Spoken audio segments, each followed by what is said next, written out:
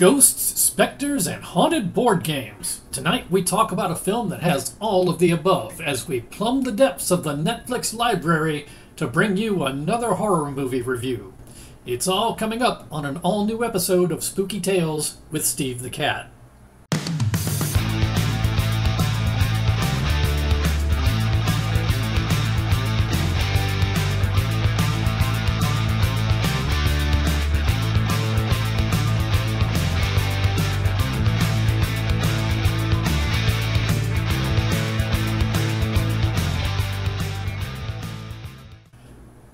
And welcome to another episode of Spooky Tails with Steve the Cat. Tonight we once again venture into the film library over on Netflix for another surprisingly good ghost story. We'll take some time to talk about that film, plus some other stuff that I watched this week, and we'll even take some time to work in an episode of Monster Chat with Professor Fluffosaurus. Now, this is normally where we would check in with our friend Crimson Meerkat, who has been on an extended road trip. But he's been tied up with budget meetings all day as we try to come up with a way to get him home from deep down in the hollow earth. So instead, we're going to just get right to it. Thank you so much for joining us. We're glad to have you along. Now sit back and grab your popcorn because here we go.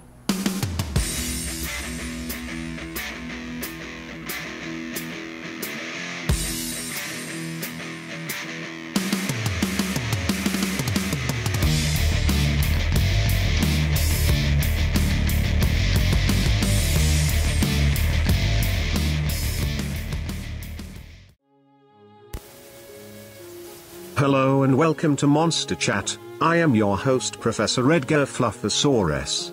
Tonight we discuss one of the more famous residents of the Hollow Earth, the Tyrannosaurus rex.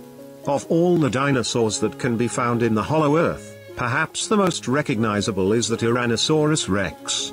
Tall and stately, with a prominent chin and sophisticated disposition, the Tyrannosaurus rex is the epitome of elegance. However, Despite its noble appearance, the Tyrannosaurus rex always found it difficult to gain access to the inner circle of dinosaur culture because of two impediments, namely, its two tiny forearms. Tyrannosaurus rex was never able to overcome the stigma of its two tiny arms or the many shortcomings that they entailed. Although tall and stately, the Tyrannosaurus rex was rarely invited to sophisticated dinner parties because its small arms made it impossible to put on a tie. Unable to penetrate the upper strata of high society, the Tyrannosaurus rex remained a social outcast and was openly mocked by other dinosaurs such as the Allosaurus and Pterodactyl. Ashamed of its social status, it was not unusual for the Tyrannosaurus rex to become members of the counterculture such as beat poets and performance artists. However this too had its limits, as Tyrannosaurus rex's short arms made it impossible to play instruments such as drums or jazz flute. The fact that there are no great Tyrannosaurus blues musicians is testament to its inability to play the harmonica.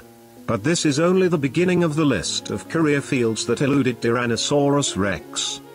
For example, its combination of a large head and small arms made it impossible to properly position a computer monitor and keyboard.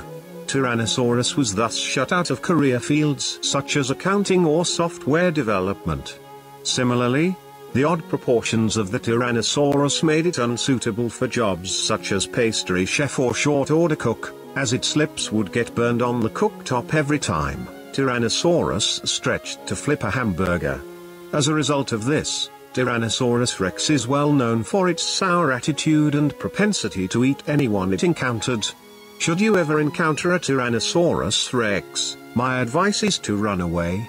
It is unlikely that you will be able to outrun the Tyrannosaurus, but at least you will be secure in the knowledge that you made the effort. This has been Monster Chat, hosted by Professor Edgar Fluffosaurus. Thank you for joining me. Really, the only thing that I can say about my mother is that she wanted to know that we weren't alone after my dad died.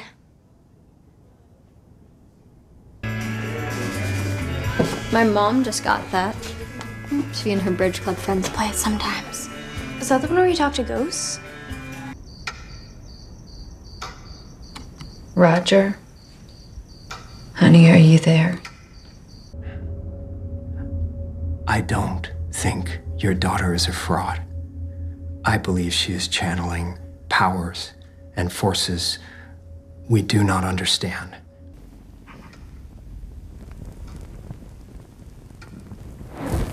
It's actually really scary. You guys want to play?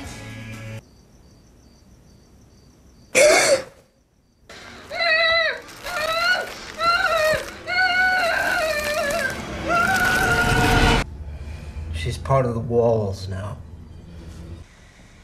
Do you know what it feels like to be strangled to death?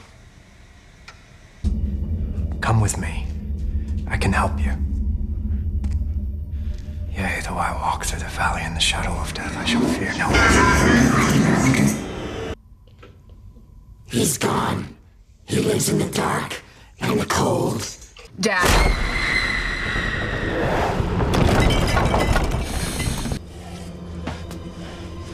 And she told me the most wonderful, awful things.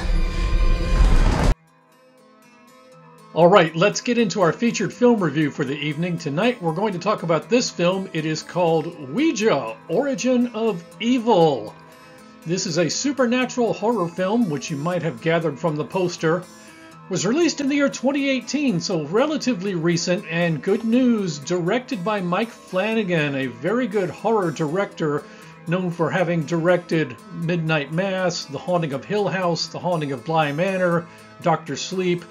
He directed a film years ago called Absentia, which you probably have not seen, but is worth watching if you're into uh, something psychological. The cast includes Elizabeth Reaser, Annalise Basso, and Henry Thomas. So let's talk about Ouija Origin of Evil.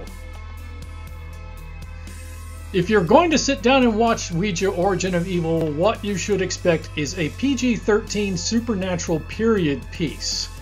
Beautiful period piece that takes place in the 1960s. If you like The Conjuring, you will probably like Ouija Origin of Evil.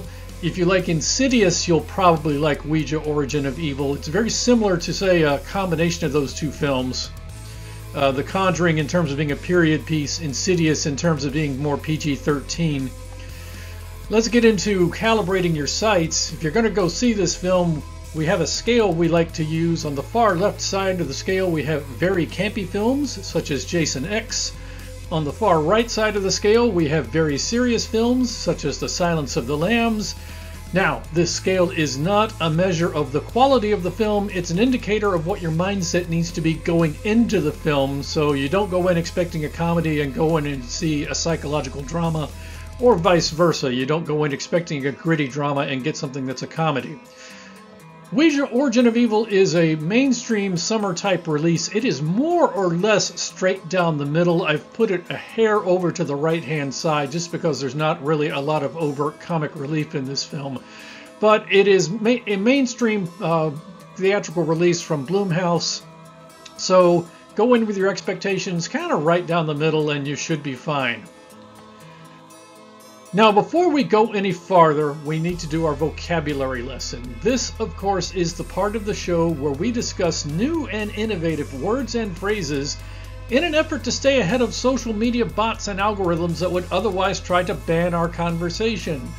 Social media bots and algorithms are always evolving, so our language must evolve to stay ahead of them. We're doing one term this week, it's a review term. Our term is peeper popping.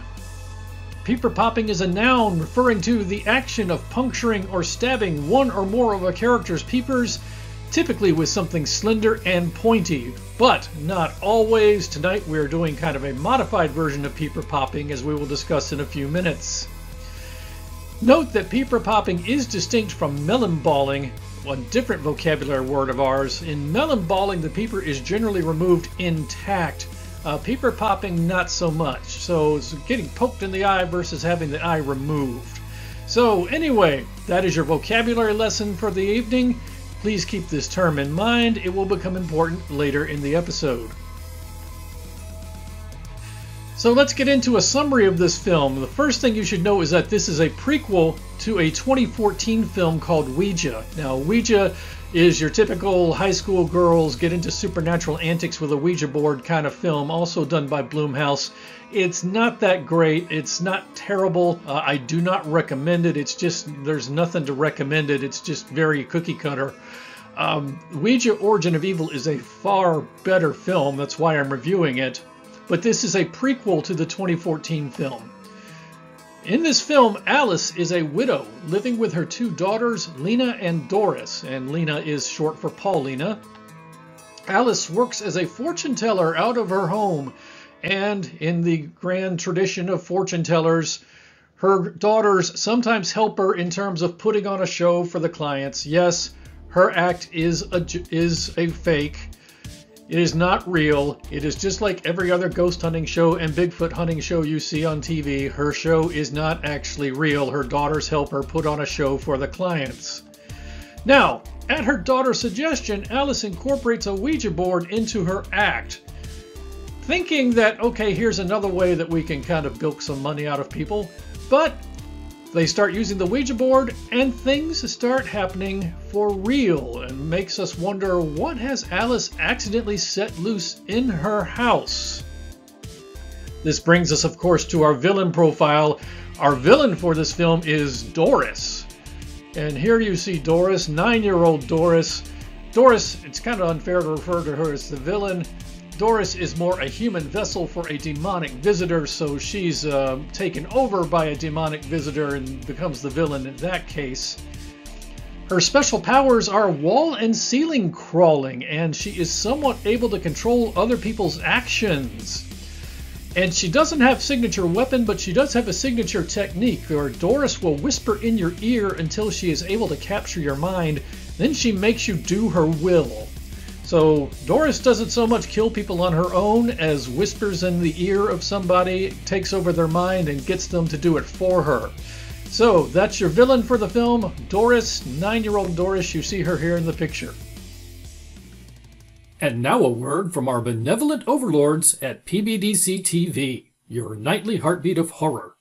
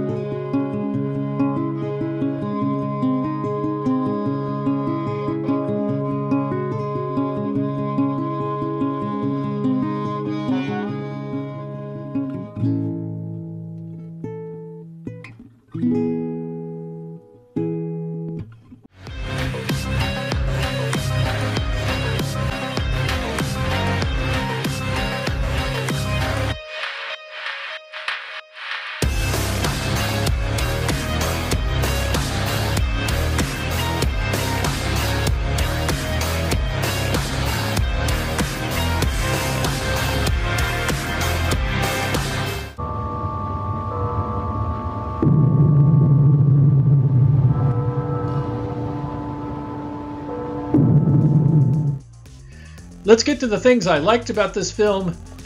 Right off the bat, it's a huge improvement over the 2014 film Ouija, which I do not recommend. Um, like I said, 2014 film's not terrible, but there's really nothing going for it either. It's very, very cookie cutter, very bland. Uh, it's not really worth the effort. This film is a huge improvement. It is far better. And it works as a standalone film, so you don't have to watch the 2014 film at all. You can just go in, watch Ouija Origin of Evil cold without having any backstory, and you are perfectly fine. This film does a wonderful job of capturing the environment and atmosphere of 1967. It's a wonderful period piece. It's got all the costumes, it's got all the cars, it's got all the locations. All the board games have their old 1960s style graphics It is really well done in terms of uh, capturing 1967 on screen. The film also, bonus, is very well directed and very well acted, so it's a competent picture. It looks really good on the screen. It's a beautiful period piece, uh, much like The Conjuring in that it's a beautiful period piece. The film builds tension and scares without relying on kill count or blood and gore. It is a PG 13 type film after all.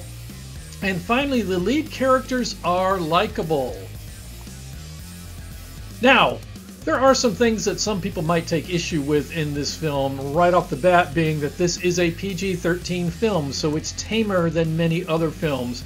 If you need a lot of explicit blood and gore to keep you entertained, this is not the film for you. This film is more jump scares and supernatural antics in the second half. The kill count is low. Again, it's a PG 13 film, plus, it's a supernatural kind of film. Those tend to have a lower body count anyway.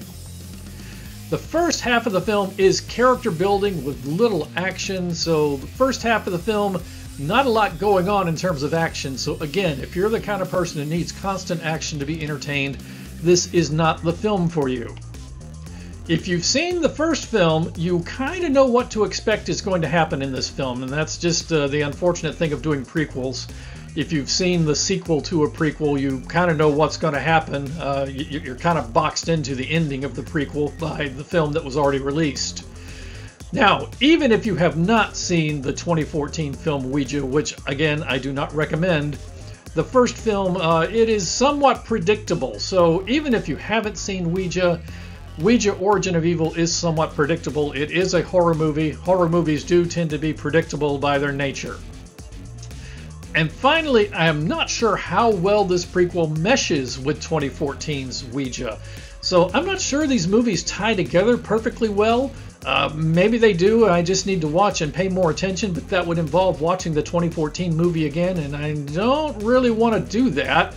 Um, I watched it not too long ago uh, just to remind myself that, okay, it's not that impressive. Uh, Ouija Origin of Evil, very good film, but not worth going back and watching 2014's Ouija. So let's get into Steve's scorecard for this film. Kills, we have four. Bare breasts, drum roll please, drum roll please. We have zero. Once again, it is not that kind of film. Denogginings. We also have Zero. Also not that kind of a film. Jump scares. There are four good jump scares in the first half of the film. I did not keep track in the second half because by the time we get to the second half, the supernatural occurrences have started and you don't really need to track the jump scares because there's other action going on. Peeper popping we do have one off-screen moment of peeper popping, and it is done with a slingshot as opposed to a slender item. Hot air ballooning, a vocabulary term from our last episode. Hot air ballooning, levitating about the room with no visible means of support. There's three of those. Doris is able to float around the room several times. Bungee jumps. If you want to know what bungee jumps are, you're just going to have to watch this one. I can't really describe it. There is one bungee jump in this film. Threatening palm readings. Yes, Alice gives one threatening palm reading to the boy who's interested in Lena. And finally, use of the word groovy. I thought I was going to get a big count here since it was 1967, but I only counted one, so only one use of the word groovy. Of course, that's not all you get with your viewing of Ouija Origin of Evil. You also get some bonus features, including gold digging daughter action. Yes, you'll get that in the first scene of the film. You get teen sneaking out action, and where you have teen sneaking out action, you might expect to also have boozy high school party action, and you would not be wrong. You have fake seance action. Yes, they are fake. You get foreclosure thwarting action. You get priest dating action. Uh, yes, really. You get creepy little girl exposition about strangling. Yeah, it's a little unsettling having Doris talk in grotesque detail about what it feels like to be strangled. You have wall crawling action, and where you have wall crawling action, you might also expect to find ceiling crawling action, and once again, you would not be wrong. Now, good piece of advice don't follow the creepy little girl into the basement. One of the characters in this film should have paid attention to that word of wisdom, but did not. Don't follow the creepy little girl into the basement. And finally, piece of dialogue from one character in the film, which is kind of funny.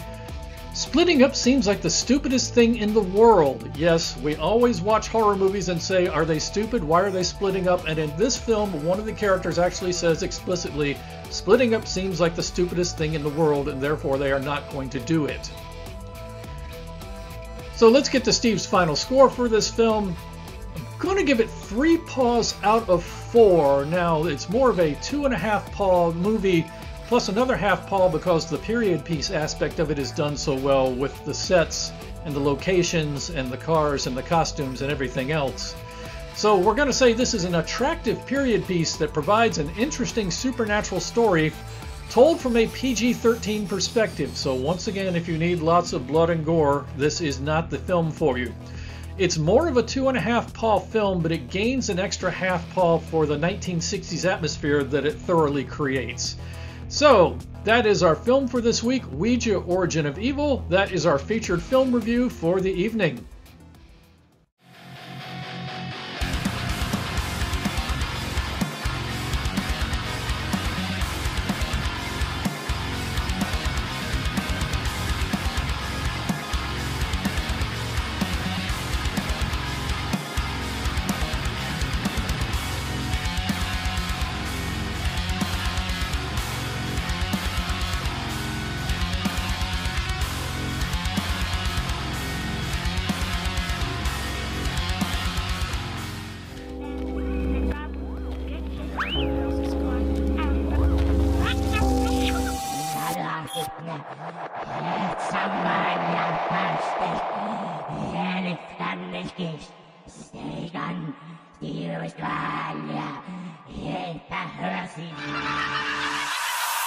Yeah. Hello, all you beautiful people out there. It's your boy Sleepy. And when I'm not guzzling down gallons and gallons of amazing ice cream, yes, oh, I love ice cream. Oh, hang on. Um, I'm watching PBDC TV. Now, back to the show, all you beautiful people, and remember, stay nasty.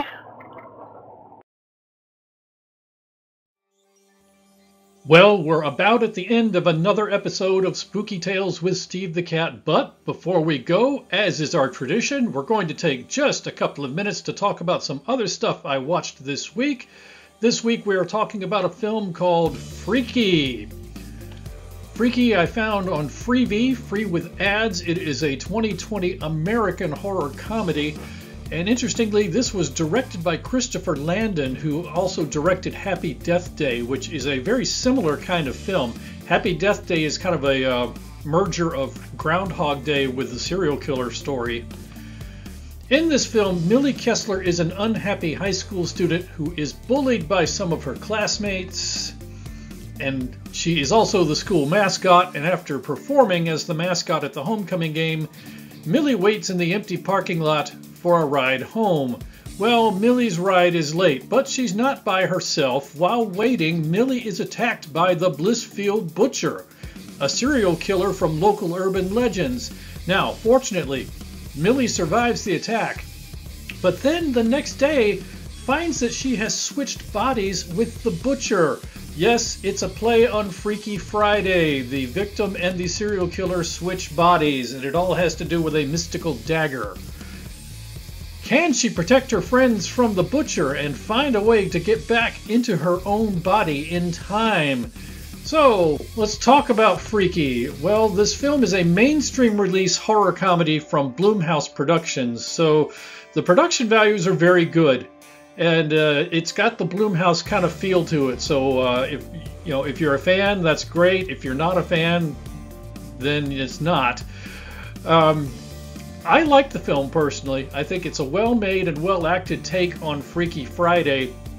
There are bits of graphic violence mixed in with the comedy that I do not remember from Happy Death Day. Uh, so I seems like Freaky is more graphically violent than Happy Death Day, but it's not wall to wall graphic violence. It's just incidents of graphic violence spread out throughout what is otherwise a horror comedy. Now, on the pro side, the film is very entertaining and has a very likable cast. On the con side, it's somewhat predictable. I mean, serial killer stories by their nature are predictable, and this is a combination serial killer plus Freaky Friday, so it's a remake of a movie that is already existing, so somewhat predictable. But overall, I would recommend it. If you're in the mood for a slasher comedy, something similar to Happy Death Day, you can do a lot worse. Uh, given the choice between the two, I would watch Happy Death Day before watching Freaky, but recommend either one of them. So, Freaky, recommended by Steve the Cat, and that is other stuff I watched this week.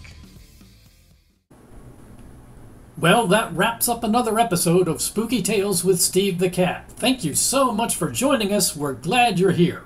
Now, if you did enjoy the show, then please check us out on social media. You can find Steve the Cat on YouTube, Instagram, Facebook, and Twitter, so please stop by and hit that subscribe button. Spooky Tails with Steve the Cat is available exclusively through the PBDC Collective Incorporated, now legally incorporated but still your heartbeat of horror.